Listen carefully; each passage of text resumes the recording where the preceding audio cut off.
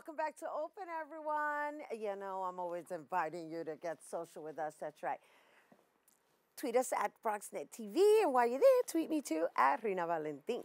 All right, so our next guest has an incredible story of hope.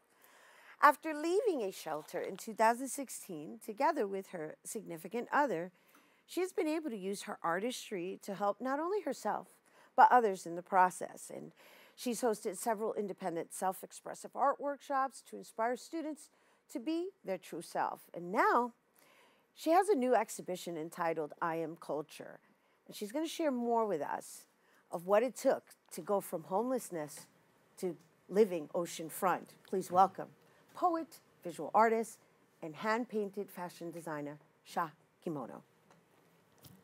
Ashe. Ashe to you. yes. We I'm, made I'm gonna twist over here. I and know, just right? Give it to you. Thank you. Oh my goodness. I know. Blessings to you. And you. I want to say on air, congratulations on not allowing whatever hardship you had to overcome Yes. get the best of you. That's true. Look at where you are ah. now. All right, so let's talk a little bit about really briefly about the first time you were here with us. And well, because we're, we're having you back on Yes. two years later, right? Oh no. No, it's more. How It's- long ago was that? Oh my God, almost four. Four years? Almost okay, four so years. four. Yeah. However, you're in an entirely different place. Yes. Sorry, I lose track of time. That's cool. I, been have a watching lot you of though. People come through here, and and really, what what inspires me the most is when we can bring you back and Yeah. show people that you know there's hope. Well, it took the village to raise this child. And if it wasn't for your support and other people, none of this would be possible. Like literally, we were in the worst spot in our life in the shelter. And having BronxNet as a platform to, to share our story and to see that there's hope gave me more hope. Um, we were in the shelter for three years, and it was the hardest three years. And funny how everything works out. We got out of the shelter three day anniversary of going in. So from February to February, we were in the shelter. Um, we're in Far Rockaway, right on the ocean. If I were in the Bronx, Well, it's just the fact that you have an ocean view. yeah, like yeah, y'all was like, hey. and if I was in the Bronx or Harlem, none of this artwork that I've created would have gotten done because I know everyone and everyone knows me. So uh, I thought I was never going to get out of that place. And art was my therapist. And finding the more I learned about myself and our culture, the more I painted and the more comforted I became to know that one day those doors are going to open for me. And once I go through that door, my life is going to change and poverty is going to be a thing of the past. It didn't seem like that while I was in it. I know, but you know what? I got to tell you, you know, you were still exercising your artistry, Yep. right? And that's what you did. Yeah. I mean, even though you were in that situation, Yeah. we documented you, we Yeah. welcomed you, we brought you in, and we Yeah. showcased you Yeah. to our viewers. And and and the fact that you even brought that up, and I want to say that because it it, it was just a way of, of kind of encouraging you Yeah. to Keep trust. going. Well, to trust. Yes. That you're going through this for a reason. Yep. And I didn't. Now the funny thing is, I was creating art, but we actually came to the show to do the music and to talk about But our. that's the other aspect. And that's of the funny. artistry because that Yes. you do that with your husband. Yeah, we perform as Ashe Jam Band or Ashe.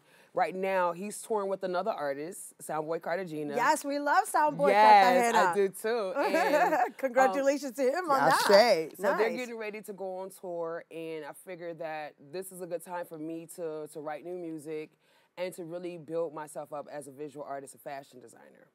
And I love this. Uh, Yeah. I, I love that you have it as our backdrop. Yeah. It's beautiful.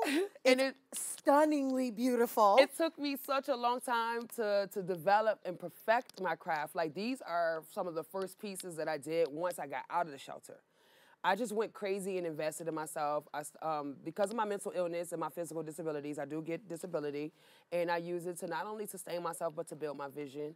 Uh, everything is hand painted, no duplications. I've mastered the craft, so um, the pieces will be waterproofed and they will last a lot longer. I love, love, love, love denim because you can upcycle denim easily. You can go to your local thrift store and, and buy a cool denim jacket, and I could just like change the whole scheme of it and, and use it definitely as a, as a canvas. I want to just tap uh, into that a little bit more because I love that you upcycle. Yeah. Right? So, upcycling, in case you guys are unaware, it's like another form of recycling. Yeah. Except it's when you kind of repurpose Yeah. uh, something. Right. And so, uh, do you do that because you're, uh, I, I mean, obviously you're earth conscious. yeah.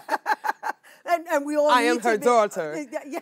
you I know love that. it really started because okay so like when i was in the shelter we didn't have money to buy clothes and shoes and stuff so people in the shelter would donate to me their old shoes and i thought that was so bizarre and because they were so like some of them were old i would feel self-conscious because i grew up in poverty Right. and then you know it was like ptsd to the 10th degree and my spirit was like listen you cannot continue on being a victim what can you do? And it was like, well, I can't paint these shoes. So I started painting them, but I was using paint that you would use for a canvas. And so it would, I went through the whole messy stage of it, but now it's like, it's become my job. It's become my duty, my calling. And my advice to people who's going through a hard time is to believe in yourself. My spiritual, our culture, ours, because I believe the entire African diaspora is just mirrors and reflections of each other. It was our culture that kept me sane because I was losing my mind because I felt so hopeless. I went to college for a year in Atlanta, yada, yada, yada, but I was starting to feel hopeless, and they was like, listen, this is your calling. And when I look at my art, it's like, it, it, it, it makes me want to cry, but I take those tears and I just keep fighting for what I feel like I deserve. What's, I can see that. Um, Yeah. Your ancestry is is- influenced uh, is an influence within your your creativity because Yes. I can see there's indigenous over here. Yep. I see Africa over there. I see the Eye of Horus over there. Yeah, all of it. The boss is from this side of Africa. Well, 'cause, you Most know, definitely. As you can see, the ankh and stuff. Um, and that's why the exhibition is called I Am Culture. As an African American goddess, history in our country has not been so kind in teaching us who we really are. So we have to look into other people to see who they are when they're confident. Like my Latinas are just so confident in, in their culture and everything. And it's like, who am I? And I think that I've truly found myself in everybody's culture.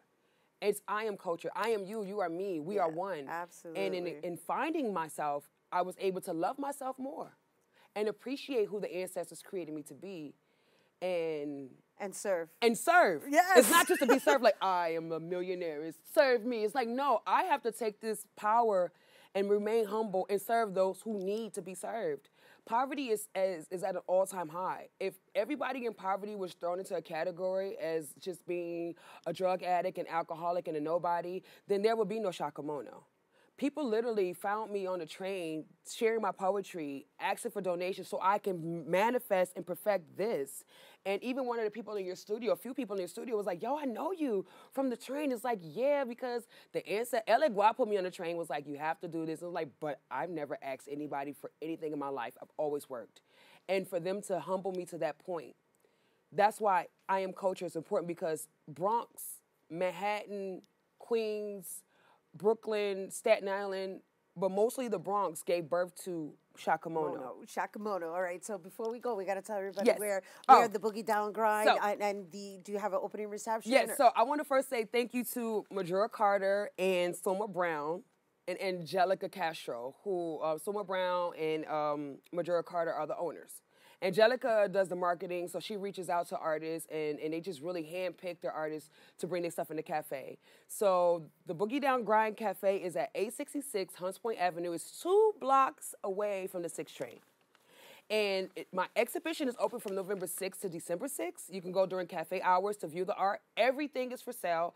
I have from digital prints to hand painted stuff like like bags and shoes and stuff like that, and tote bags, which are good for the environment. Uh-huh. Cut down plastic Uh-huh, waste. that's My right. opening reception is sponsored by the Bronx Brewery. So 21 and over, you can get your little sip on.